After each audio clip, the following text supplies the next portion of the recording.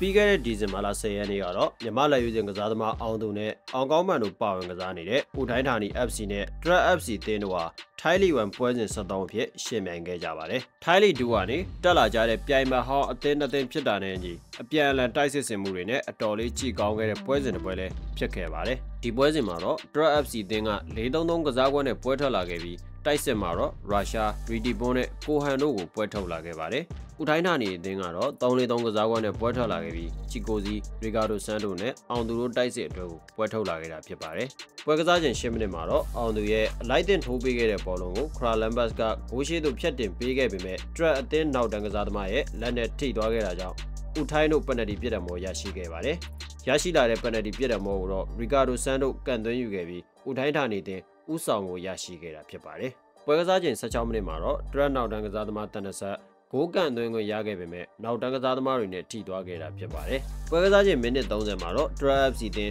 ဥထိုင်းဂိုး area အဆက်မှာပြစ်ဒဏ်မော်ရရှိခဲ့ပြီး Riti ပေါ်မှာတိုက်ရိုက်ကန်သွင်းခဲ့ပေမဲ့တိုင်ထိသွားခဲ့ရတာကြောင့်ခြေပါဝိုးရရှိမဲ့အခွင့်အရေးဆုံးရှုံးခဲ့ရပါတယ်။ ပွဲကစားချိန်45မိနစ်မှာတော့ဦးထိုင်းအသင်းမှပြန်လည်တိုက်စစ်ဆင်လာခဲ့ပြီးချီကိုစီရဲ့ပေးပို့မှုမှတစ်ဆင့်ဂျိမ်းဘရက်စ်ဖိုကကန်သွင်းခဲ့ရာ6ပေါင်းနဲ့အနည်းငယ်လွှဲချော်ခဲ့ရပါတယ်။ပွဲကစားချိန်46မိနစ်မှာလည်းချီကိုစီရဲ့အကွက်မြင်မြင်ပေးပို့မှုမှတစ်ဆင့်အောင်သူကဘယ်ချင်နဲ့အသာအရာကန်သွင်းခဲ့ပြီးဦးထိုင်းဒါနီအသင်းအတွက်ဒုတိယဦးဆောင်ကိုပုံဖော်ပေးနိုင်ခဲ့ပါတယ်။ပွဲကစားချိန်82မိနစ်မှာတော့တိုက်စစ်မှုကိုဟန်ကတောင်းကန်ပေါ်မှာအဆင့်ဆင့်ရရှိလာတဲ့ဘောလုံးကိုနောက်ပြန်ကန်ကျန်းတဲ့အတူခြေပါကိုအဖြစ်ပြောင်းလဲသွားခဲ့ပါတယ်။ အဲ့ဒီနောက်ပွဲကစားချိန်85မိနစ်မှာလဲညာချမ်းမှဖြတ်တင်ပေးပို့လာတဲ့ဘောလုံးကိုဒရက်နောက်တန်းကစားသမားဖယ်လစ်ပီက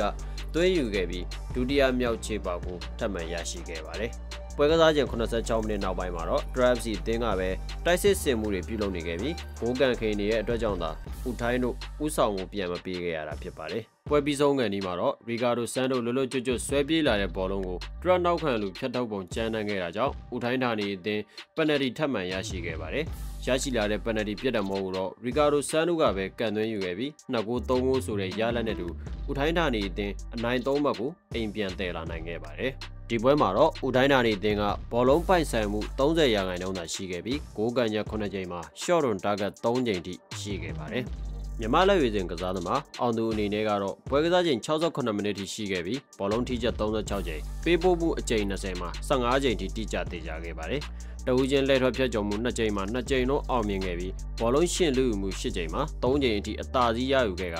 ဖြတ်ထုတ်ရှင်းလင်းမှု2ချိန်နဲ့စွမ်းဆောင်နိုင်ခဲ့တာပဲဖြစ်ပါတယ်ခင်ဗျာ။